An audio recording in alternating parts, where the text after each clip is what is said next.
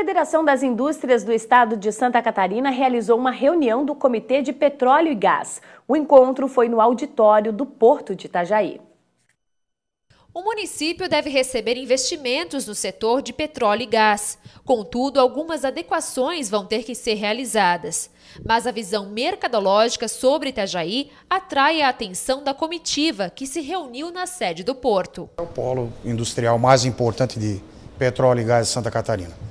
É o, nossas interações da Federação da Indústria com o polo industrial tem que uh, aumentar substancialmente justamente para criar uma forma né, de, de, de atuação do comitê com base na base industrial já instalada. A cidade pode se tornar um polo de saída de materiais e profissionais do setor petrolífero.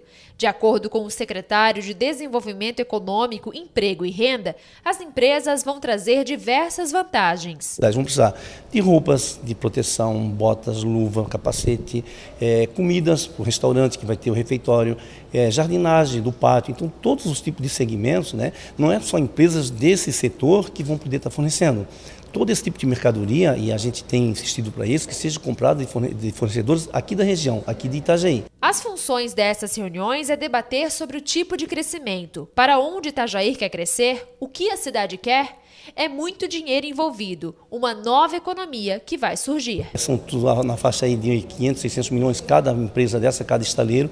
Então é um mercado que a gente já tem que se programar para estar tá crescendo ordenado, para estar tá crescendo ele com é, determinado. E por se tratar de uma nova economia, é necessário planejamento essa é a maior cobrança da comitiva à cidade, que busca novos campos de exploração. Hoje nós temos aqui instalado na região quatro grandes estaleiros, né? A Oceana, a MGT, mais uma que veio semana passada, tem a Odebrecht também que está aqui, tem outra de Navegantes, tudo isso faz parte daqui da região. É, e são tudo empresas de um, de um porte é, grande que vão precisar de muito material. Muito... E não é só isso, em função dessas grandes empresas, sempre vem empresas pequenas também, que são os fornecedores que acabam vindo se instalando no arredores também dessas empresas para estar tá participando desse boom, né, que no momento seria um boom hoje do pré-sal que vai acontecer aqui em Itajaí. E agora vamos falar de esporte. O Marcílio Dias venceu o Brusque neste domingo e segue na liderança da segundona do Campeonato Catarinense. Sérgio Mota traz todas as informações agora para gente.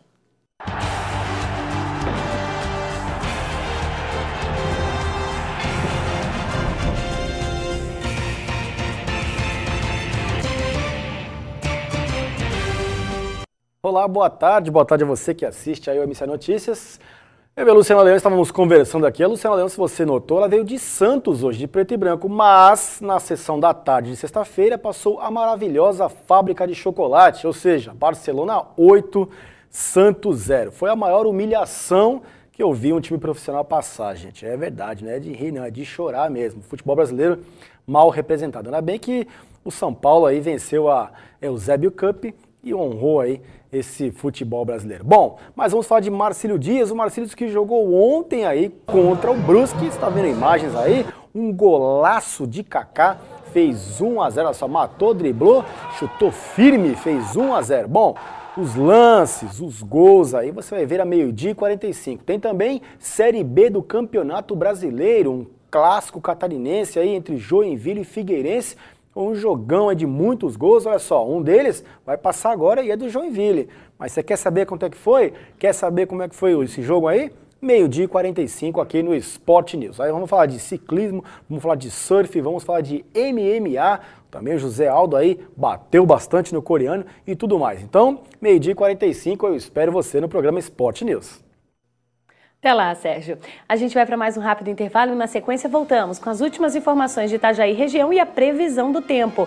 E ainda hoje aqui no MCA Notícias, preço da Praiana é reduzido com o objetivo de atrair os usuários para o transporte intermunicipal. Nos últimos dois anos houve queda de 10% no número de passageiros. Joaquim Lacerda vem para comentar este assunto.